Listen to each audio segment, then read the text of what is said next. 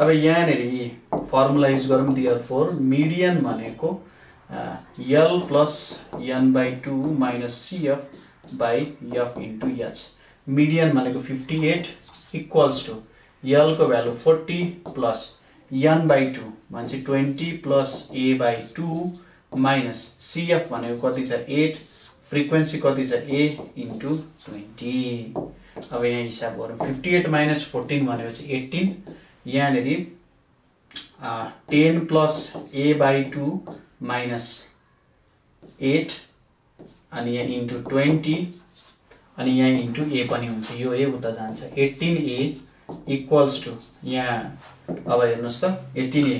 Ten minus two ten minus eight two two into twenty forty plus A by two into ten भनेको ten ए। यो मान्छे उता गएपछि eight A equals to forty यसको मतलब a को भ्यालु फोर्टी बाई एट भनेको कति आउँछ? फाइभ आउन जान्छ। ए को भ्यालु कति आउने भयो? फाइभ आउने भयो। भनेपछि ए को भ्यालु हामीले निकाल्यौँ। फाइभ हुँदो रहेछ। अब find the total number of students भनेर भनिरहेको छ। टोटल नम्बर अफ स्टुडेन्ट्स भनेको ट्वेन्टी प्लस ए हो। यसको मतलब सी नम्बरमा के लेख्न सकिन्छ? Total number of students total number of students भनेको के हो? ट्वेन्टी प्लस ए हो। यो भनेको ट्वेन्टी प्लस फाइभ भनेको कति हुन जान्छ?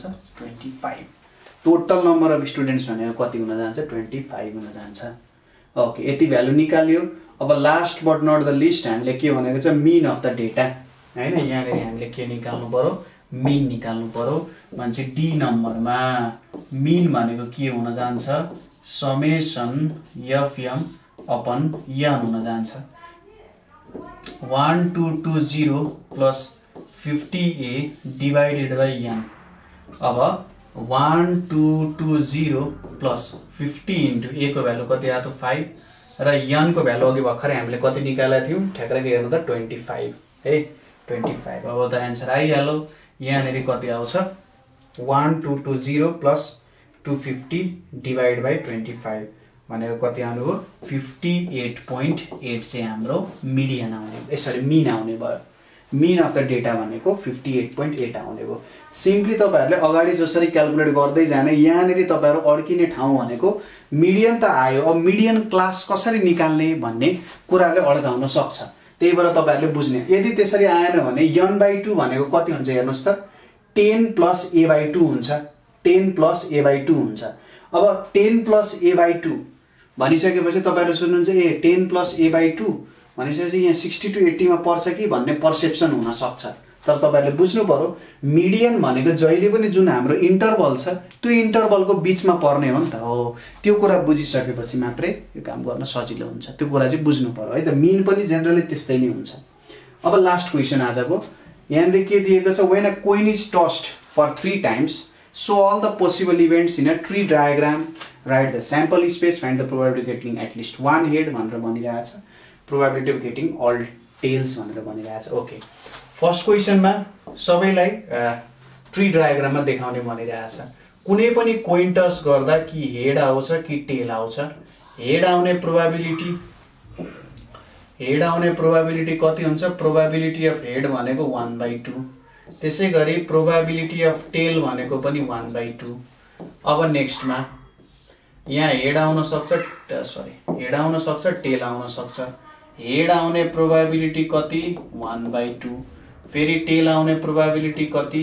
वान बाई टू फेरि एकचोटि गर्नु पऱ्यो हेड टेल हेड टेल अब हेड आउने प्रोभाबिलिटी कति? हेड आउने प्रोभाबिलिटी वान बाई टू त्यसै गरी टेल आउने प्रोभाबिलिटी वान बाई टू होइन? अब यो आयो यहाँबाट फेरि यतापट्टि आउन जान्छ हेड र टेल हेड आउने प्रोभाबिलिटी वान बाई टू त्यसै गरी टेल आउने प्रोभाबिलिटी वान बाई टू अब यहाँ दोस्रोमा हेड टेल यहाँबाट दोस्रोमा जाँदाखेरि यो त सानो पो हुन्छ जस्तो छ त हौ ग्राफ त। ठिकै छ म मिलाएर बुझाइदिन्छु तपाईँहरूले बुझ्नु होला। यता तलतिर गएँ है त म। यहाँ तल जान्छु म। यतापट्टि गएमा यहाँनिर हेड आउने प्रोभाबिलिटी वान बाई टू फेरि हेड र टेल आउन सक्छ। अब यहाँनिर फेरि हेड आउने प्रोभाबिलिटी वान बाई टू र टेल आउने प्रोभाबिलिटी वान बाई टू अब यतापट्टि। यहाँ टेल आउन सक्छ। टेल आउने प्रोभाबिलिटी वान बाई टू छ। फेरि यहाँबाट पनि हेड र टेल जान्छ। अब यहाँबाट हेड आउने प्रोभाबिलिटी वान बाई टू र टेल आउने प्रोभाबिलिटी वान बाई टू नै हुन जान्छ। ओके? अलिकति ठुलो भयो होइन? तिन पटकको गर्नुपर्ने थियो नि त। तिन पटकको गर्नु भएर अलिकति लामो भएको हो। जेनरली यदि तपाईँहरूको डायग्राम बनायो भने यस्तो टाइपको डायग्राम बन्दा यहाँनिर आउँछ। यहाँ दुईवटा डल्लो आयो। होइन यहाँनिर एउटा यहाँनिर एउटा यसको एउटा यसको एउटा। यो फर्स्ट टस होइन यो फर्स्ट टसमा आउने भयो। फर्स्ट टस सेकेन्ड टस अनि यहाँनिर फेरि अब third toss three times three times sorry अझै थ्री टाइम्स गर्दाखेरि त हाम्रो त एन्सर अझै लामो हुन्छ। यो फर्स्ट पटक कोइन टस गर्दा भयो यहाँदेखि यहाँ जाँदा सेकेन्ड टस गर्दा भयो। थर्ड टस गर्दाखेरि के हुन जान्छ फेरि यहाँ र यहाँ पनि आउँछ होइन? फेरि आउँछ फर्स्ट टस सेकेन्ड टस अनि यहाँनिर तपाईँहरूको यो सेकेन्ड भयो यो थर्ड भयो। फर्स्ट भयो सेकेन्ड भयो थर्ड भयो होइन? फर्स्ट भयो यहाँ फर्स्ट भयो यो सेकेन्ड भयो अनि यहाँ तपाईँहरूको के हुन जान्छ? यो फर्स्ट भयो सेकेन्ड भयो यसलाई फेरि टस गर्दाखेरि यहाँनिर आउँछ यहाँनिर यसरी नै आउँछ। होइन त? First toss second toss third third toss यहाँ पनि त्यही त गरेको छ first toss second toss third first second third first second third first second third first second third first second third first second third first second third यसरी नै आइरहेको छ एचएचएच एचएसटी अब यहाँनिर आउने प्रोभाबिलिटी लेख्दा थाहा भइहाल्छ। प्रोभाबिलिटी भनेको यच यच यच आउँछ। यहाँनिर प्रोभाबिलिटी भनेको यच यच टी आउँछ। यहाँनिर भनेको यच टी यच आउँछ।